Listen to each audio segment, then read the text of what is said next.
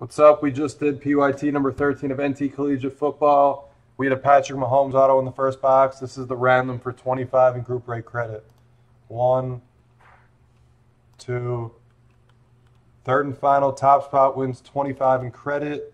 D guard. D guard, you won the top three spots, but you only get 25 in credit.